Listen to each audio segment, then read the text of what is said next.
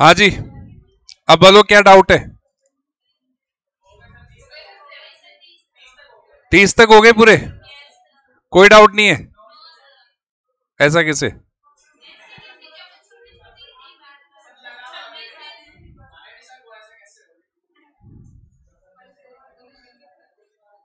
एक forty nine question बोल रहा है वो।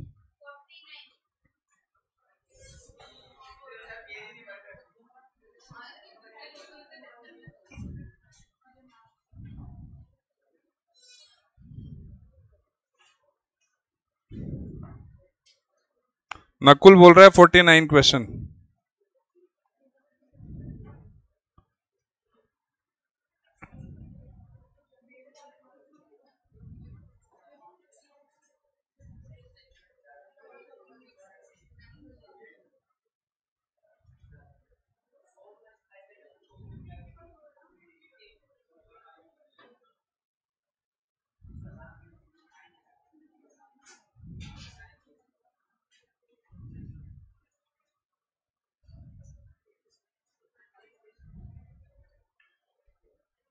अरे, फोर्टी नाइन काटना भी है, फोर्टी नाइन को काट दो भाई।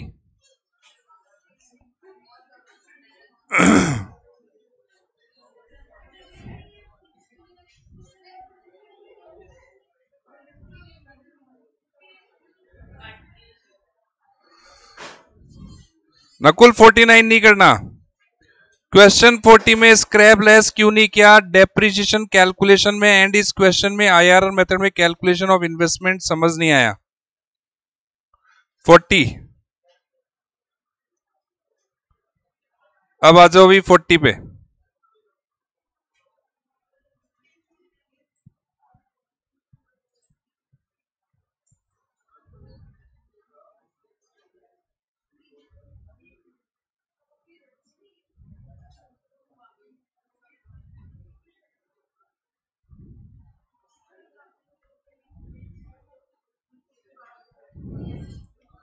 फोर्टी में स्क्रैप वैल्यू कहाँ है?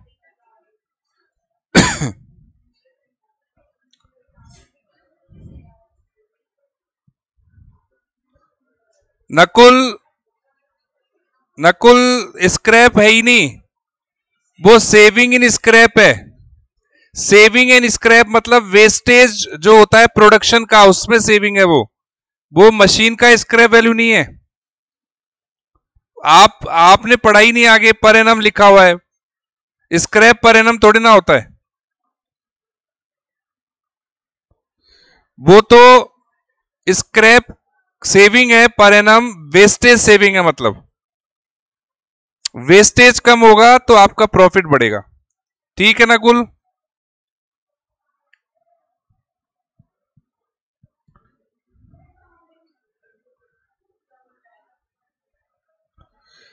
बेटा नेगेटिव पीवीटी में से टैक्स लेस नहीं हुआ टैक्स सेविंग लेस हुई है।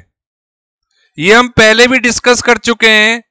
मान लेते हैं आपका पीवीटी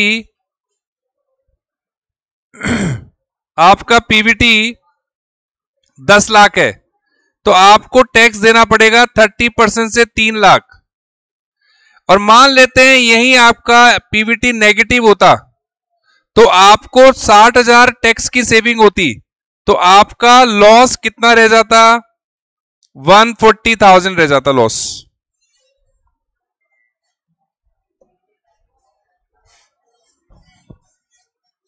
ठीक है?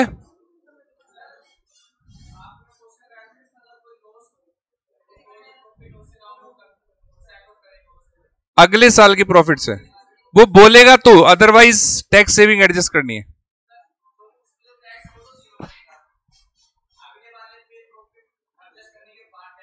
हाँ।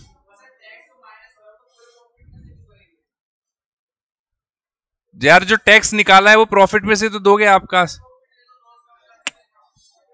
बुक में तो प्रॉफिट वही है ना। आप वो टैक्स निकालने के लिए एडजस्टमेंट कर रहे हो वो। मैं बोल रहा हूँ कि मेरा प्रॉफिट किसी साल दस लाख हुआ।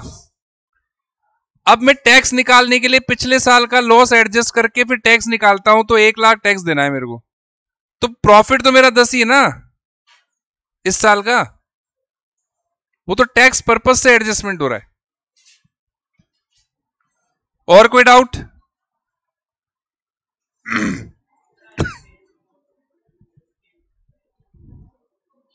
फाइव कम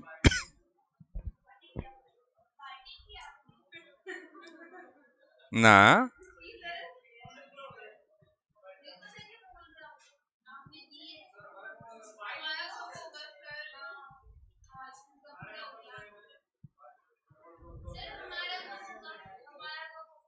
जब लास्ट चैप्टर पूरा होगा।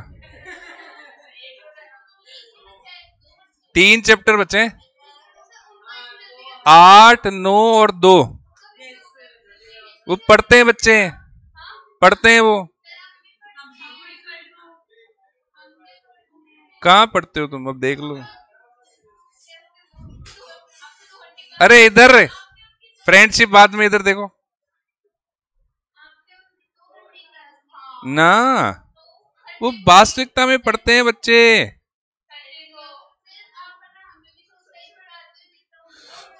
वो कवर ज़्यादा कर लेते हैं।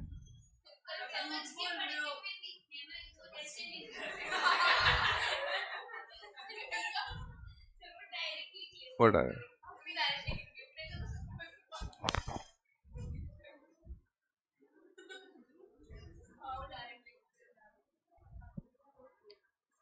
अब क्या करना है? क्वेश्चन कराओ इसके?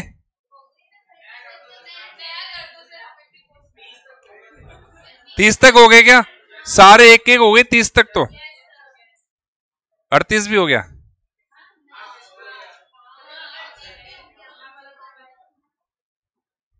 तो आगे चलें। बाकी क्वेश्चन कर लोगे? तो नया चैप्टर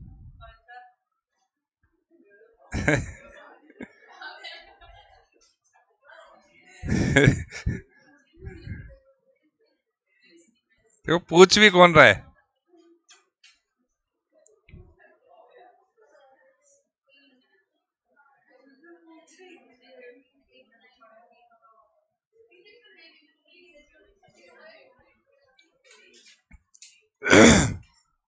बेटा आगे आ जाओ। अरे आओ तो सही एक बार।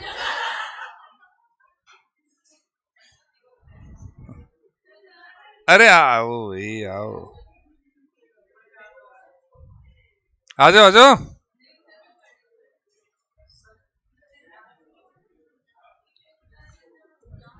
कहना ही नहीं मान रही, देखो।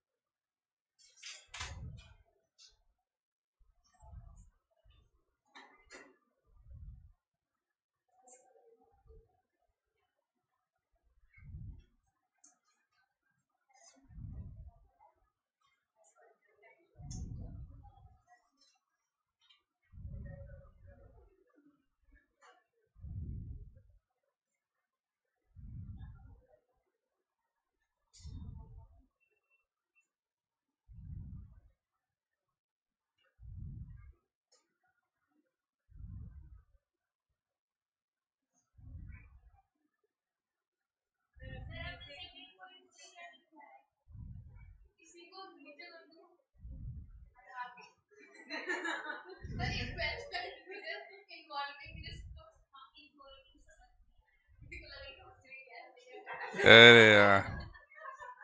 तो इससे पूछ लिया अगर वो मेरे से पूछते हैं।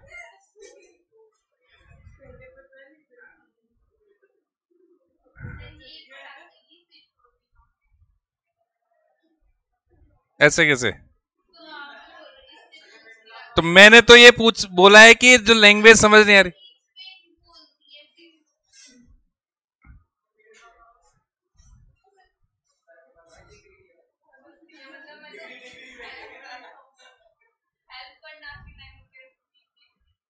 मत करा करो।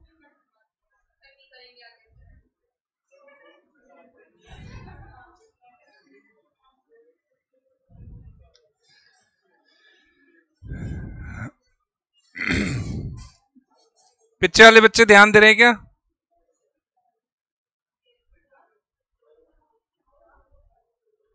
बेटा इन्वेस्टमेंट डिसीज़न पास्ट के लिए लेते हैं प्रेजेंट के लिए लेते हैं या फ्यूचर के लिए?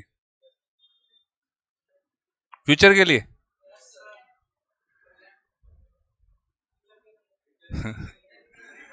बेटा जब तक डिसीज़न लेगा ना प्रेजेंट के लिए प्रेजेंट निकल जाएगा। फ्यूचर के लिए लेते हैं। पक्का? तो जो डेटा हम यूज़ करते हैं, वो एक्चुअल होते हैं कि एस्टिमेटेड होते हैं?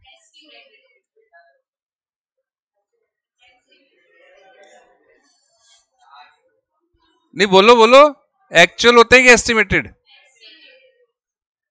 तुम कुछ और बोलना चाहते हो, बोलो।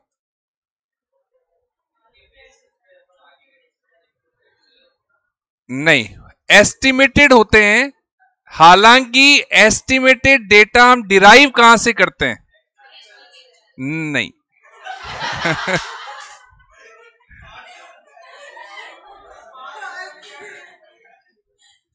पूरा बोलो पास्ट के एक्चुअल डेटा से। पास्ट के एक्चुअल डेटा से डिराइव करते हैं। और इसमें एडजस्टमेंट कर देते हैं कुछ और इंफॉर्मेशन का मार्केट सर्वे का ट्रेंड का एडजस्टमेंट करते हैं। फिर डेटा निकालते हैं। यानी जो डेटा हम यूज़ करते हैं वो एस्टिमेटेड होता है। अब सवाल ये उठता है, जहाँ पर एस्टिमेशन आ जाता है, वहाँ पर आ जाती है रिस्क एंड अनसर्टेनिटी क्या आ जाती है वहाँ पे? रिस्क एंड अनसर्टेनिटी लेकिन चैप्टर सेवन में क्या हमने इस चीज़ पे ध्यान दिया था? इस चीज़ पे हमने ध्यान दिया था क्या? इसका मतलब ये हुआ चैप्टर सेवन में जो भी इन्वेस्टमेंट डिसीज़न हमने लिया वो ये मानते हुए लिया कि जो डेटा गिवन है, वो सर्टेन डेटा है। नो इफ़ नो बट करते हुए उसी डेटा को यूज़ कर लिया डिसीज़न में। क्या मानते हुए? सर्टेन मानते हुए। हमने माना कि सर्टेन डेटा है। भाई, बात आई समझ में? सर्टेन डेटा मानते हुए हमने उसका यूज़ कर लिया। लेकिन सर्टेनिटी ही होती तो कभी लॉस होता ही नहीं। क्योंकि हम लॉस वाले प्रोजेक्ट तो छोड़ ही देते हैं। हम तो केवल कौन से प्रोजेक्ट चालू करते हैं? और सर्टेनिटी तो फिर हमेशा ही प्रॉफिट होगा। लेकिन ऐसा होता नहीं है। क्योंकि जो डेटा हम यूज़ करते हैं, वो एक्चुअल डेटा है ही नहीं। वो तो एस्टिमेटेड है। तो अब हम इन्वेस्टमेंट डिसीज़न करने वाले हैं। यानी जो चीज़ हम चैप्टर सेवन में पढ़े थे, वापस वही चीज़ रिपीट होगी। लेकिन अब चेंज हो जाएगा सिस्टम अब उसमें क्या आ जाएगा? रिस्क एंड अनसर्टेनिटी आ जाएगा। तो ये दोनों चीज़ें हम पढ़ने वाले हैं चैप्टर नंबर यानी अब जो डिसीज़न मेकिंग हम करेंगे, उसमें रिस्क और अनसर्टेनिटी को इंक्लूड करेंगे। आई बात समझ में? अब पहले ये चीज़ डिस्कस कर लेते हैं कि रिस्क और अनसर्टेनिटी में फ़र्क होता है क्या?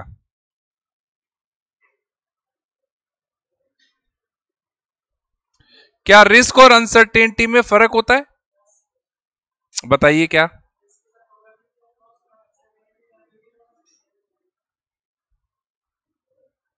तो प्रोबेबिलिटी क्या हुआ?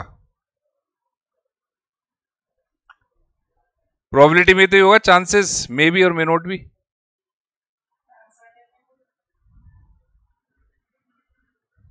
नहीं, आप बोल तो सही रहे हो, लेकिन वो गलत हो गया। बोल तो सही रहे हो, लेकिन लैंग्वेज गलत हो गई। बोलना सही चाह रहे हो, लेकिन लैंग्वेज गलत हो गई।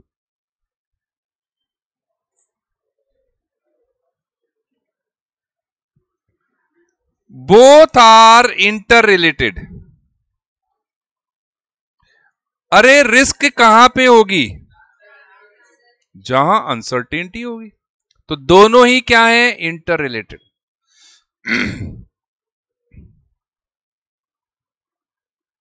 लेकिन डिफरेंस है। Difference is that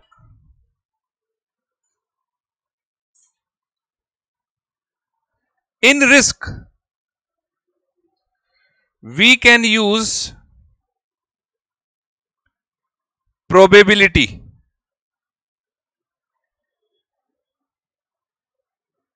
but not in uncertainty.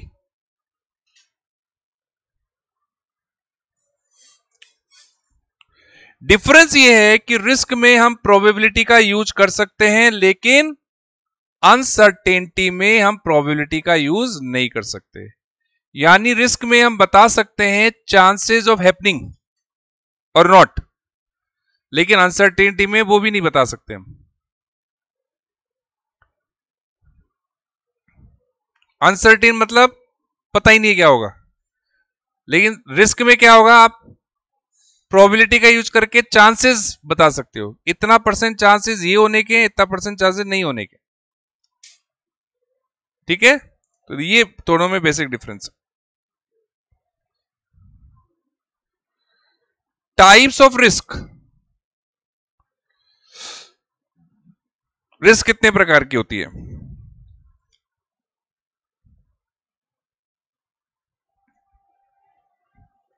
On the basis of activity.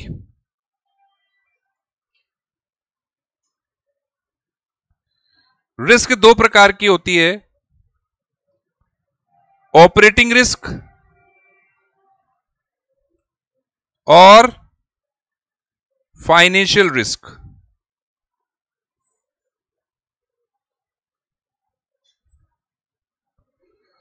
और on the basis of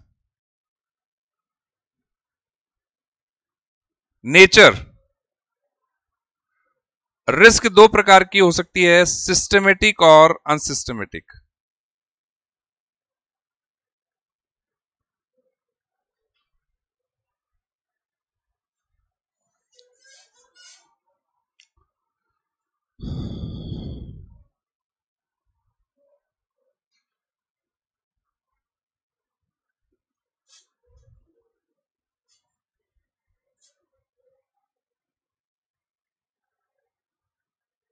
बेटा ऑपरेटिंग और फाइनेंशियल रिस्क हमने पढ़ी हुई है। कहाँ पे?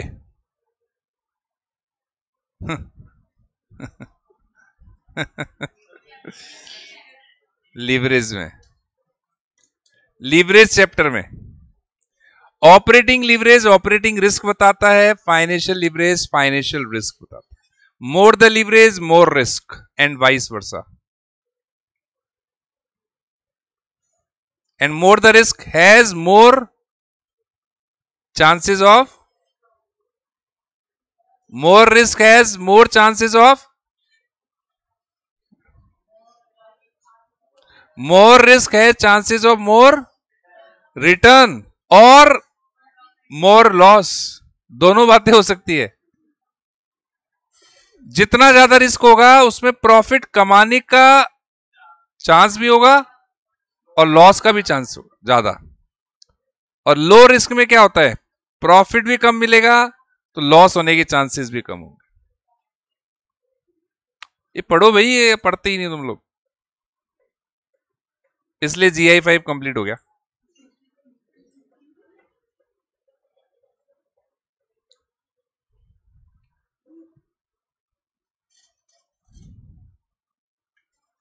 क्या हुआ?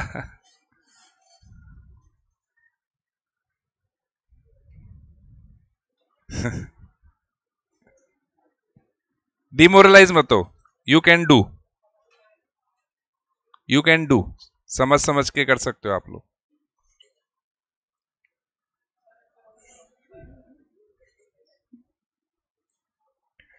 क्या हुआ?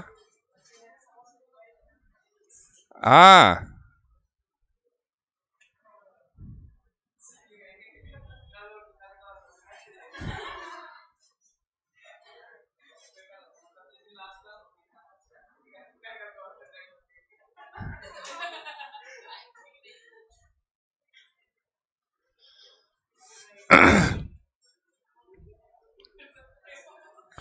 विश्वास है ना तुमको?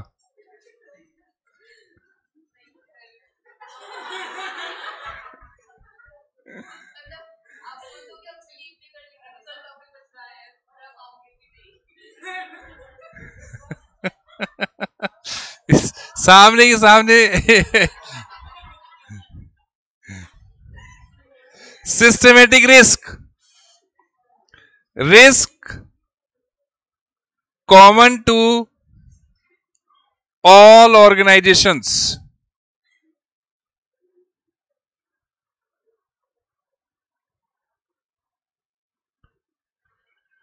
Which can't be diverted by investor by shifting from one organization to other.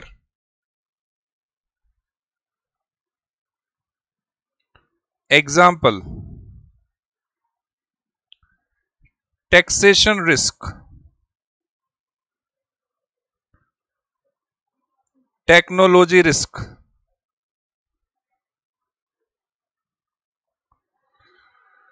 Political risk etc.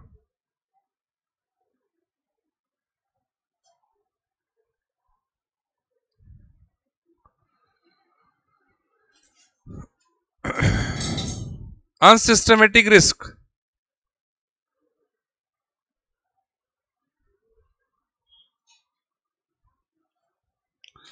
risk not common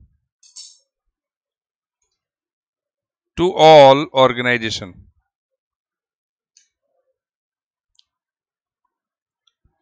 एसिडिस जो सभी के लिए कॉमन नहीं है।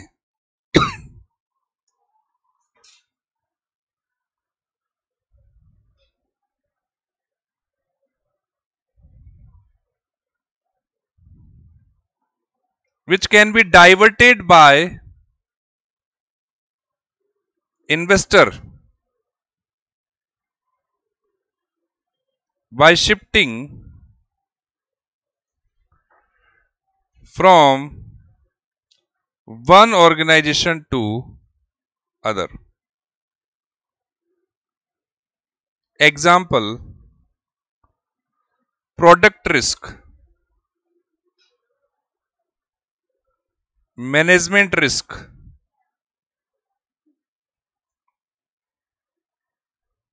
capital risk.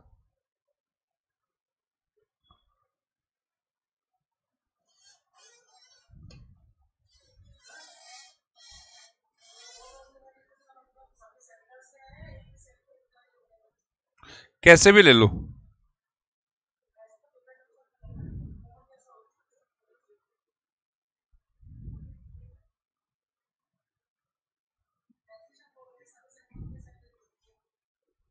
टैक्सेशन पॉलिसी सभी सेक्टर के लिए सेम टैक्सेशन का मतलब यहाँ खाली जीएसटी से थोड़ी ना है।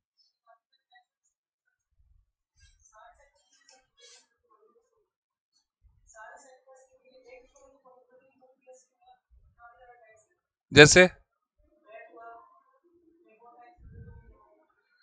तो हम उसकी बात कर रहे हैं जो कॉमन है।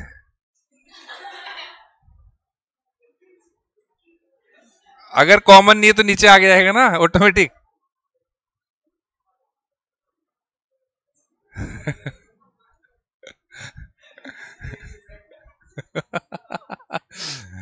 अरे वो तुम जो कहना चाह रहे हो समझ गया। भाई, किसी को कंसेशन होगा, किसी को नहीं होगा तो हम उसकी बात ही नहीं कर रहे। अगर डिफरेंस होगा, तब तो वो शिफ्टेबल है। बात है कि जब कॉमन चीज़ है, जो आप शिफ्ट नहीं कर पा रहे हो, उसकी हम बात कर रहे हैं। जैसे मान लेते हैं, दो कंपनी है। एक पे थर्टी परसेंट टैक्स है इनकम टैक्स दूसरी पे भी थर्टी है। तो इसका मतलब आप दोनों में से कहीं भी चल जाओ सेम टैक्स होगा। तो ऐसे रिस्क जो सभी के लिए कॉमन है। सभी को बियर करनी है और इन्वेस्टर उसको अवॉइड नहीं कर सकता। वो चाहे एक्स कंपनी में चल जाए वाई में चल जाए जेड में चल जाए, उसको बियर करनी पड़ेगी। ऐसी रिस्क को क्या बोलेंगे? सिस्टम अनसिस्टमेटिक रिस्क जो कॉमन नहीं है, जिसको शिफ्ट किया जा सकता है एक्स में है वो रिस्क वाई में नहीं होगी। वाई में है तो जेड में नहीं होगी। प्रोडक्ट रिस्क किसी की प्रोडक्ट की क्वालिटी बहुत अच्छी होती है, किसी की कमज़ोर होती है। मैनेजमेंट किसी का मैनेजमेंट बहुत अच्छा होता है, किसी का कमज़ोर होता है। कैपिटल रिस्क किसी के पास डेप्ट होते ही नहीं है। किसी के पास बहुत सारे डेप्ट होते हैं। तो ये रिस्क होती है। अब रिलायंस कंपनी है होल्ली इक्विटी कंपनी हो गई ज़ीरो डेप्ट कंपनी तो रिस्क ही खत्म हो गया वहाँ पे तो डेप्ट का। दूसरी कंपनी में डेप्ट होगा तो वहाँ रिस्क होगी इन्वेस्टर के लिए। तो ऐसी रिस्क को हम क्या बोलेंगे? अनसिस्टमेटिक रिस्क जो सभी में कॉमन नहीं।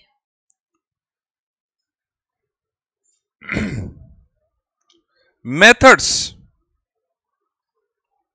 used in risk analysis in investment decision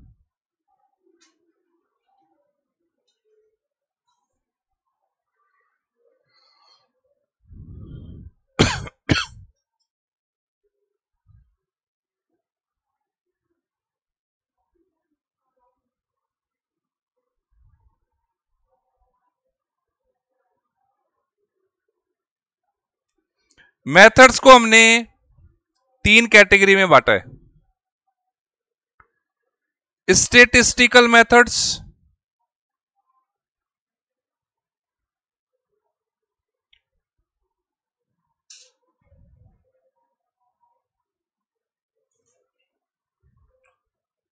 traditional methods,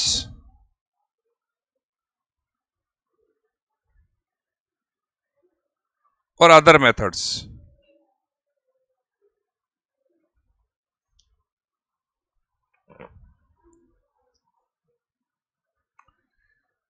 statistical methods में दो मेथड पढ़ेंगे हम। Probability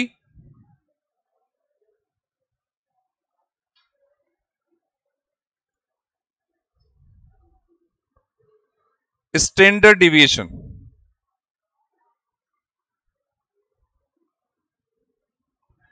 traditional method में risk adjusted rate of return certainty equivalent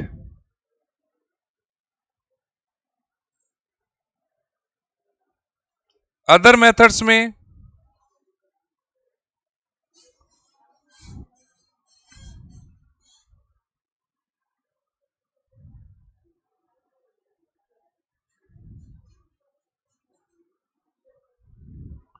scenario analysis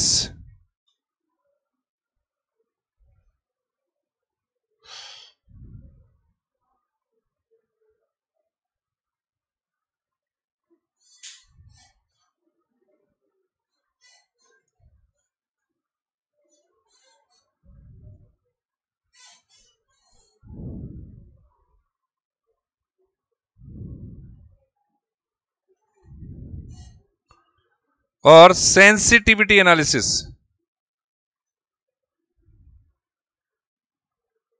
तो टोटल कितने मेथड पढ़ने कितने?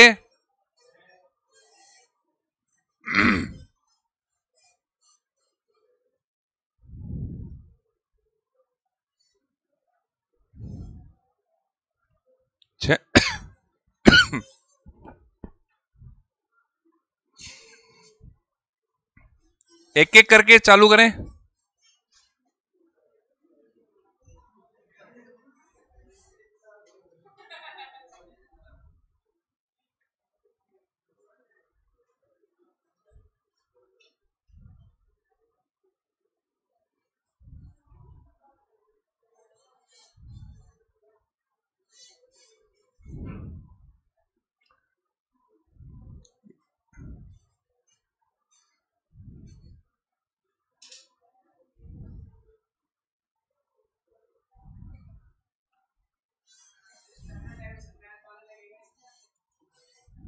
स्टेट्स वाला लगे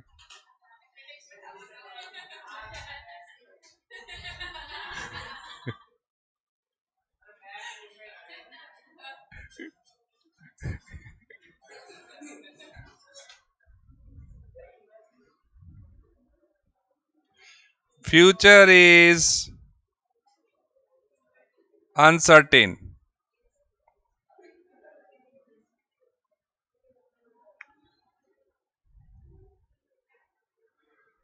अरे ऑनलाइन बच्चों यहाँ तक लिख लिया ना सबने।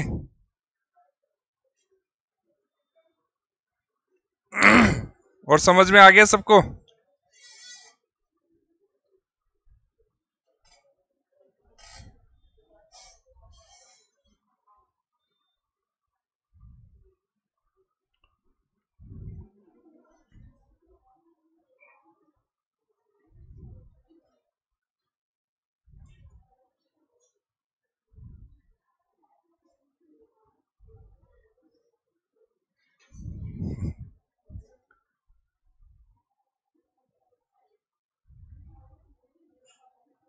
हसलो हसलो।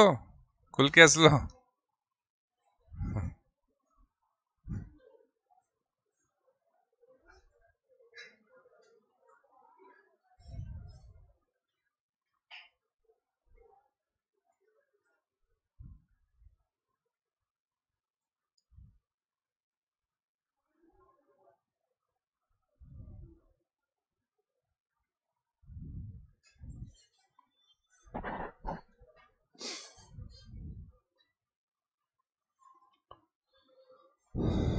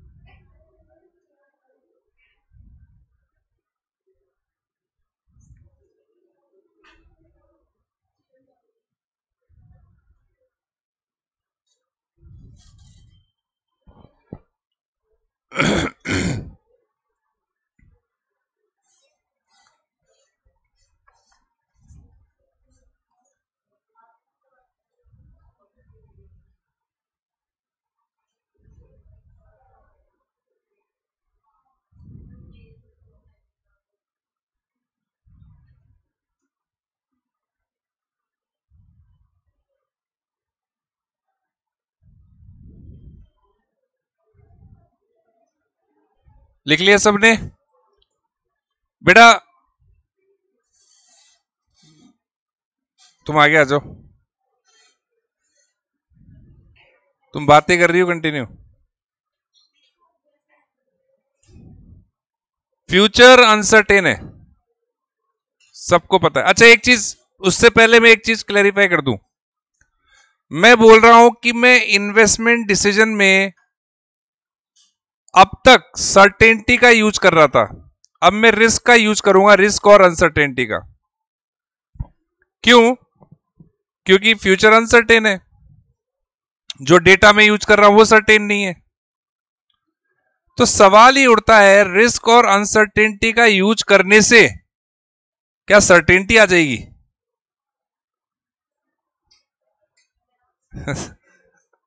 नहीं आएगी ना?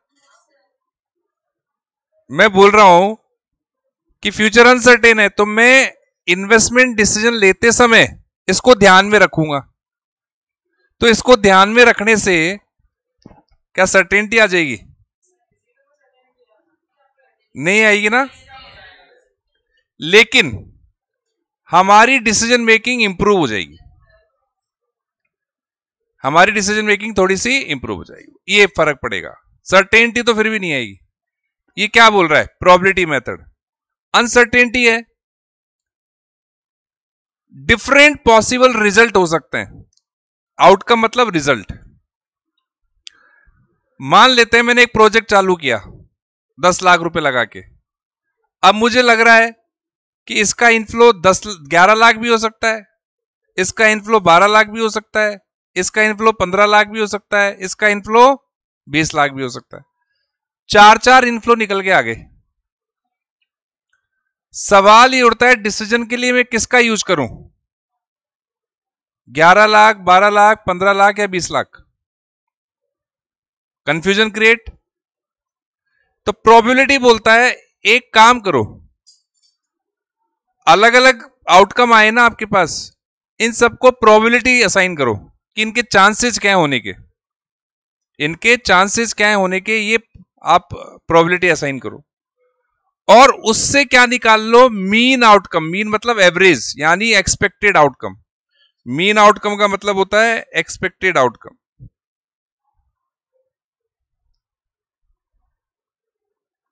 यानी एवरेज वो निकाल लो। और जो एवरेज निकल के आए, उसी को डिसीज़न मेकिंग में यूज़ कर लो। उसी को डिसीज़न मेकिंग में यूज़ कर। इससे क्या होगा, आपका कंफ्यूजन खत्म हो जाएगा कि कौन सा आउटकम यूज़ करें। Example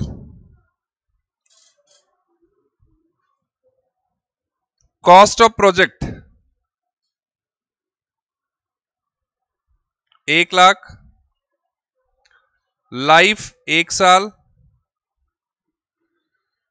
possible cash inflows.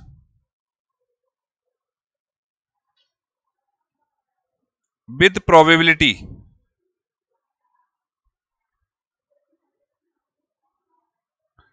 Ninety thousand point one एक लाख दस हज़ार पॉइंट टू एक तीस पॉइंट थ्री एक चालीस पॉइंट टू एक पचास पॉइंट टू।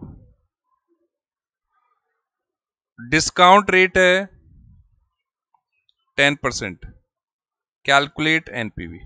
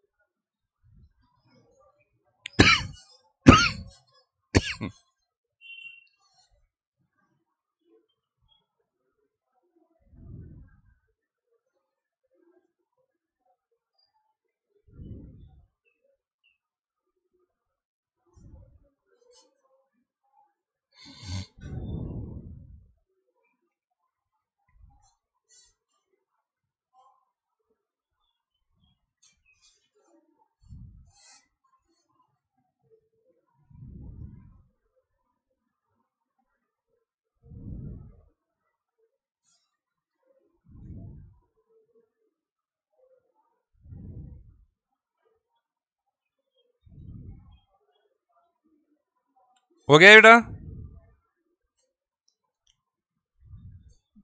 क्वेश्चन कॉपी कर लिया? अब देखिए। अच्छा उससे पहले एक फॉर्मूला लिख लो। एक्सपेक्टेड आउटकम निकालते कैसे हैं? एक्सपेक्टेड आउटकम निकालने का फॉर्मूला होता है पॉसिबल आउटकम इनटू प्रोबेबिलिटी और फिर उनका सम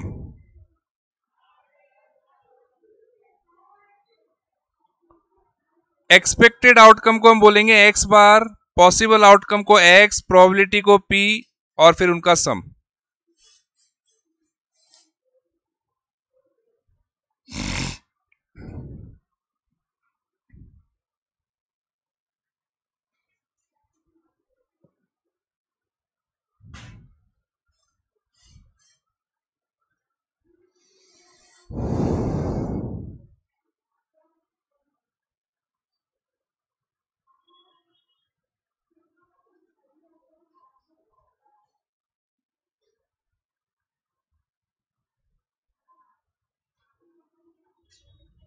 हो गया ये?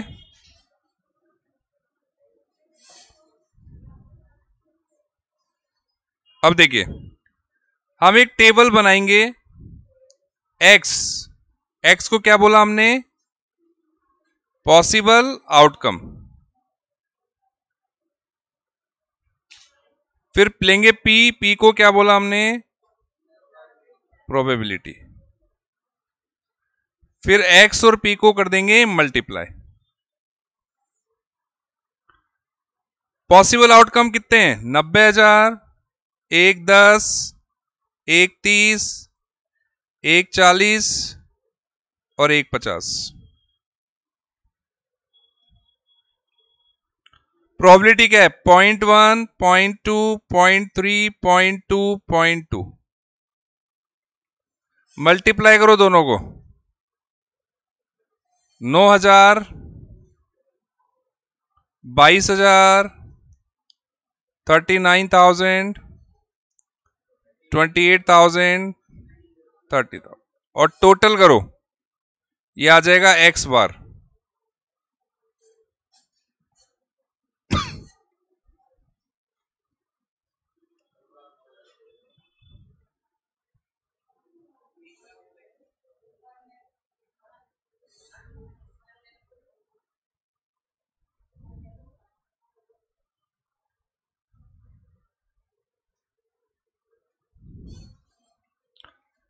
अब प्रोबेबिलिटी मेथड क्या कहता है? बोले, इसका यूज़ करो डिसीज़न लेने के लिए। अब हम क्या करेंगे? पीवीएफ निकालेंगे 10 परसेंट की रेट से एक साल का लाइफ एक साल ही है। तो present value of cash inflow क्या आ जाएगा? एक लाख अट्ठाईस हज़ार into point nine zero nine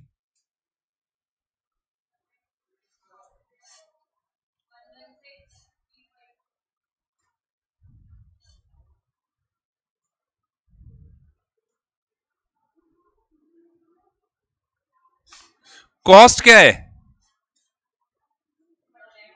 तो एनपीवी क्या हो जाएगा?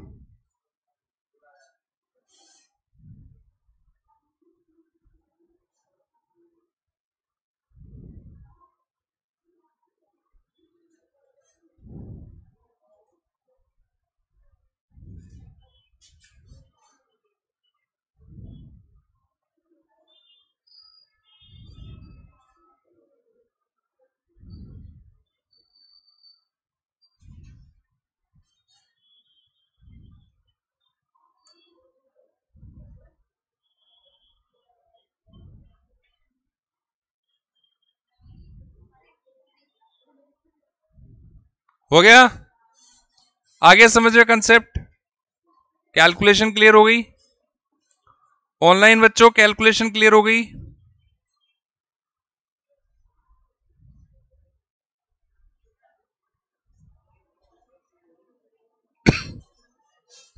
तो आज के लिए इतना ही।